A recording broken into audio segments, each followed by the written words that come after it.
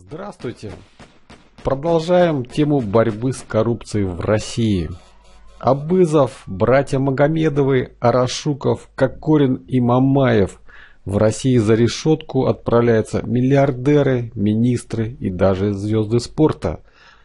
И вот в «Комсомольской правде» появилась довольно интересная статья под названием «Наталья Шатихина. В России начали сажать бриллиантовые воротнички. Бриллиантовые воротнички в кавычках, потому что пришло их время отвечать.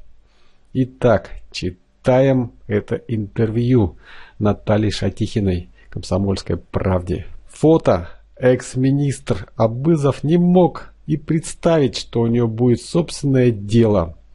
И действительно, Абызов читает бумаги с собственным делом. И они довольно толстые и выглядит довольно-таки небритым и напряженным. Напряженность сквозит во взгляде и какая-то безучастность, что ничто его не спасет. Итак, начинаем. Кокорин и Мамаев, Абызов, Магомедовы и Арашуков. Хотелось бы добавить сюда еще и Ишаев. В России за решетку отправляются миллиардеры, министры и даже звезды спорта – каким путем идет наше правосудие, когда перестанут кошмарить бизнес и кому идет на пользу диета подсудимого в кавычках, рассказала адвокат, представляющий в суде интересы Дениса Пака, доцент кафедры уголовного права юрфака Санкт-Петербургского государственного университета, управляющий партнер юридической компании CLC Наталья Шатихина. Вопрос. Наталья Сергеевна, широкая общественность недоумевает, зачем держат в СИЗО Мамаева и Кокорина?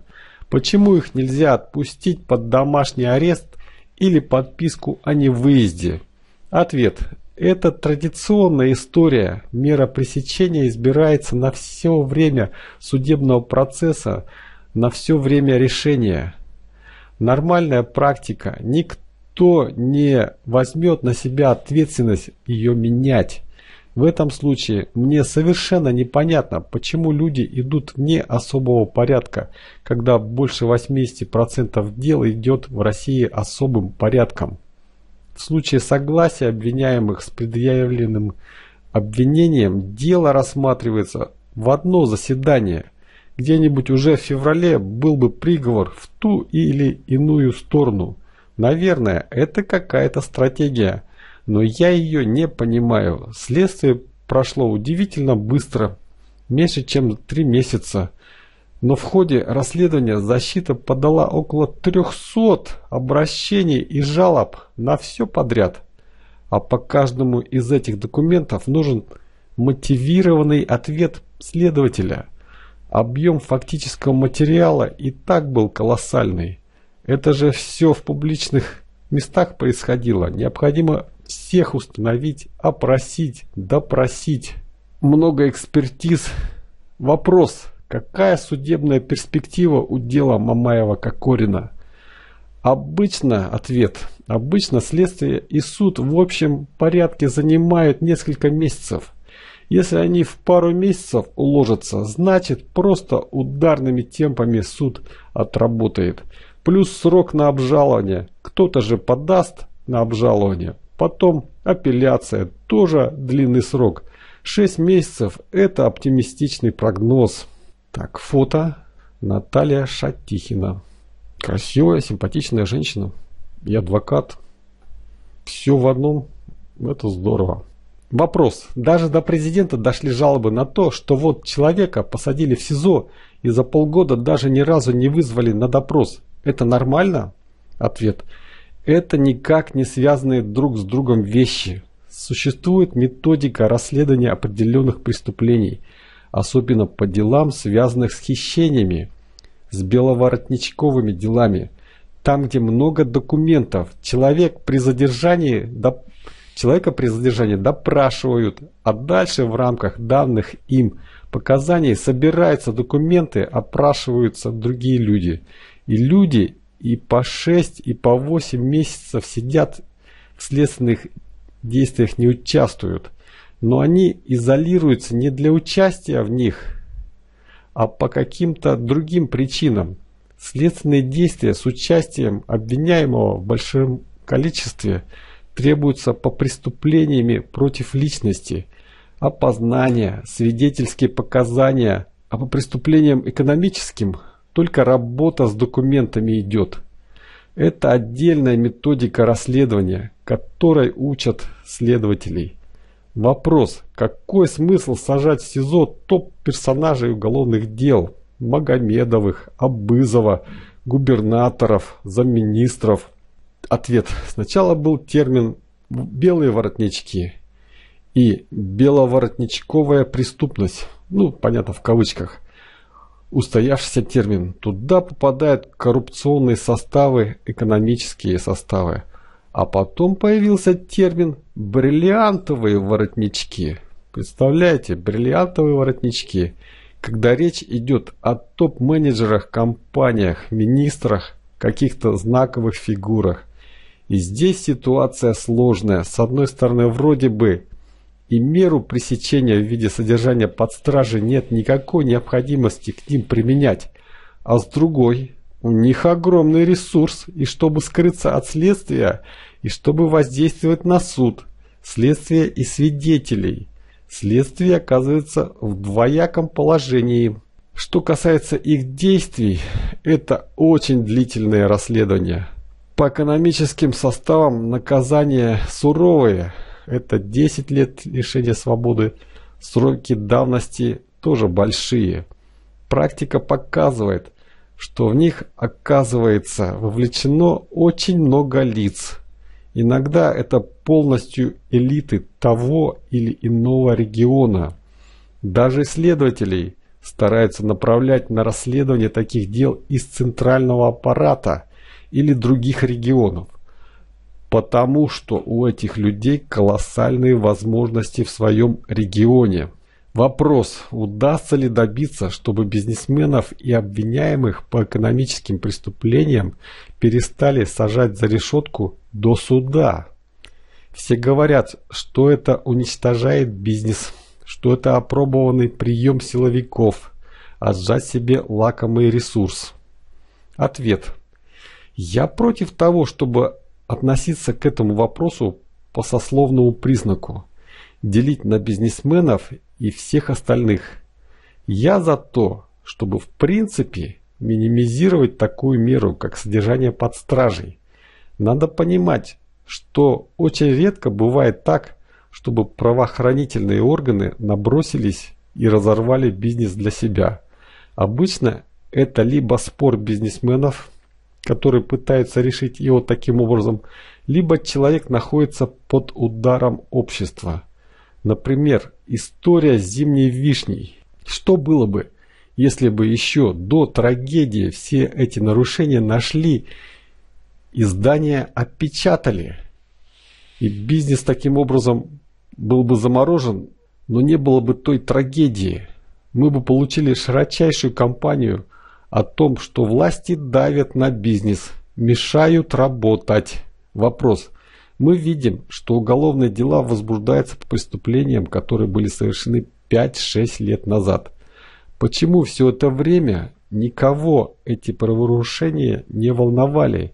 И как бизнесу жить в таком режиме ожидания? Ответ. Пятилетний цикл образуется естественным путем. Как правило, в основе всех этих обвинений лежат неисполненные обязательства по каким-то крупным контрактам с участием государственных средств. Государственные деньги похищаются и куда-то выводятся. Вопрос, но почему все это постфактум? Почему не сразу? Ответ. Расторгнуть действующий контракт, даже когда очевидно, что что-то идет не так, очень сложно. Например, случай с Эрмитажем где обвиняется замминистра Перумов.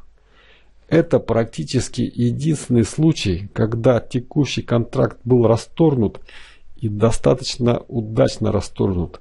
А вообще цикл образуется так. Завершается контракт, вопросы возникают при сдаче работ. Видно, что они не были выполнены или выполнены не полностью.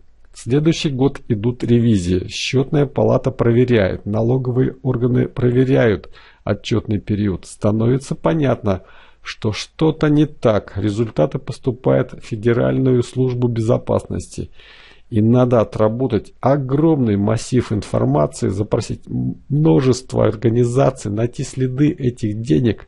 У нас следствие ограничены по срокам. На все 18 месяцев. Экспертизы занимают несколько месяцев, а иногда и до года, а очереди на них идут по 3-4 года.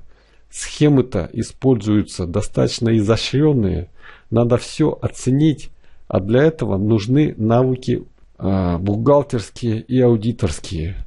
То есть в лучшем случае дело удастся возбудить еще через 2-3 года.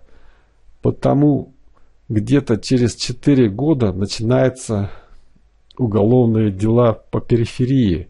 И, лю и люди даже не понимают, что эти дела связаны.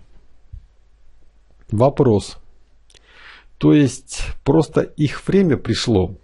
Ответ. Сейчас мы подошли к циклу, когда расследуется деятельность с 2012 года по 2016 год. Самый пик крупных строек у нас – от олимпийского строительства до строек по линии Министерства культуры, энергетические контракты, да и схемы, которые использовали долгое время, были крайне сомнительны на входе. Вопрос. Как крал газ сенатор Арашуков? Это тоже не было заметно никому много лет? Ответ. У нас страна построена по территориальному и национальному делению. И в тех регионах, где сильно влияние клановых локальных элит, возникают ситуации, когда это переходит границы. Хищения на нефтепроводах и газопроводах в энергетике очень сложно выявлять. Когда люди удивляются, как это могли не замечать, легко могли. Там есть особенности технологического процесса, позволяющие существенные изъятия проводить. Это только кажется, что учет идет. Померил здесь, померил там. Но звучат и серьезные обвинения в преступлениях против личности, вплоть до заказных убийств. И все это переходит из, из экономики в совсем нехорошую плоскость. И здесь очень похоже на преступное сообщество. Вопрос. Как вообще высокопоставленные фигуранты переживают свои аресты? Ответ. Очень по-разному. Кто-то плохо, кто-то быстро адаптируется. Конечно. Содержание под стражей никому на пользу не идет, но почти все начинают много читать. Хотя, как ни странно, именно с книгами больше всего проблем. Их передать можно только через библиотеку. А поскольку там большой объем текста, то досмотреть их быстро не получается. На самом деле, Наверное, в провинции с этим остаются проблемы. Но в Москве и Санкт-Петербурге СИЗО сделали большой рывок вперед по, по условиям содержания. Одно время возмущались, что заключенные со средствами делали ремонт своих камер. Но потом решили, что в этом ничего плохого. Камеру же он с собой не заберет в конце концов, а ремонт останется. Иногда отмечаешь, что человек, отправленный под домашний арест, он стал даже выглядеть здоровее. Раньше, когда он занимался бизнесом, был постоянно под стрессом, алкоголь употреблял, а сейчас есть у него четырехчасовая прогулка, он ее всю выгуливает для разнообразия досуга. Некоторые даже худеют. Вот такая информация, вот такая статейка «Комсомольской правде». Ну, самое для меня любопытное, интересно, что в расследованиях присутствуют циклы, пятилетние циклы.